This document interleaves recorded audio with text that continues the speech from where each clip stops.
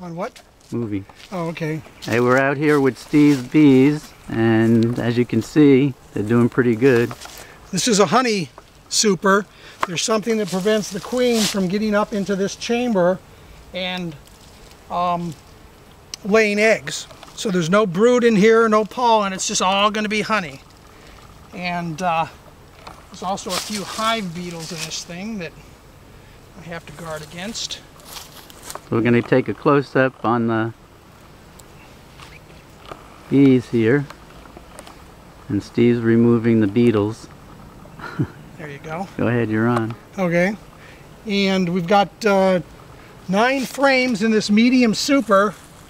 And that these frames will weigh seven to nine pounds when they're filled with honey. And these have been on here for probably three or four weeks. This one here weighs a couple good pounds. It's really, really nice. None of it's capped yet. We'll see if we can find one that's capped toward the center. But this is what it's all about. Since May 1st, these bees started in one box and now they're producing some beautiful fall honey. Yep, none of it's capped. They'll evaporate this honey when it gets to the right rate. They will start to put little white caps on this honey. But I'm going to have to warn my wife that it's going to be time to harvest pretty quick here. And we're going to take a shot down here at the... We'll take a shot out at those bees again. Oh, okay.